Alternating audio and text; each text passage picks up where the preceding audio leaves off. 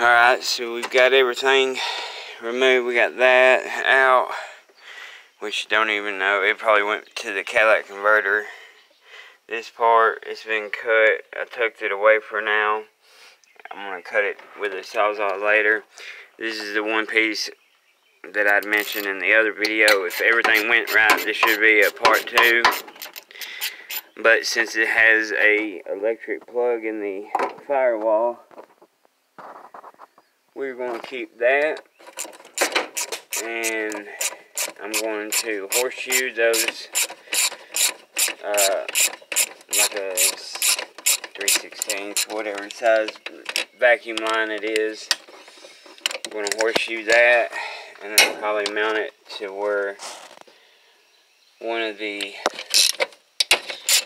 brackets for all this emission system went then get all that tidied up, take my canister out. I've got a different filler jug where it came that way whenever I got it. Someone had kind of give, give it a botched black spray paint job when it was white with tan interior.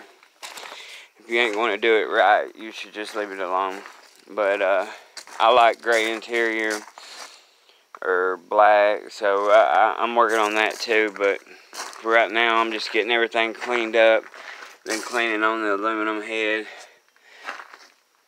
We're going to get this EGR delete. Got a new alternator. Going to be doing some power steering.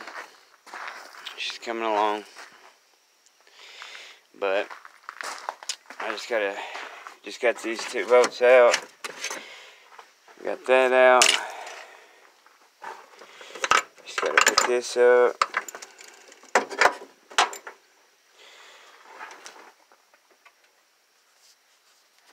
Oh, sorry, put my finger on the camera. But for now, I'm going to clean this up before I take my canister off, make a bigger mess. Um, this has cooled down quite a bit now. I'm going to go ahead and put my thermostat in.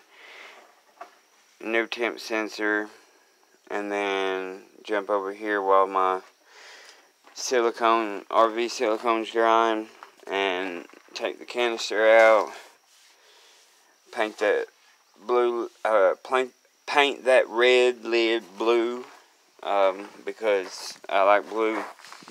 Uh, it's not gonna be a lot but just the accents colors it has is either gonna be blue or lime green that's about it for this video. Thanks for watching. Uh, there'll be, as soon as I get my lights, I'll be getting some um, LED installs. I'll be doing that. And as soon as I get a bumper, I'm doing a bumper and phantom grill.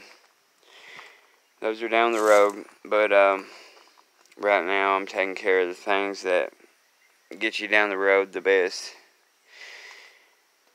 God bless everybody. Thanks for watching. Please like, share, comment, do whatever, try to help me push these videos.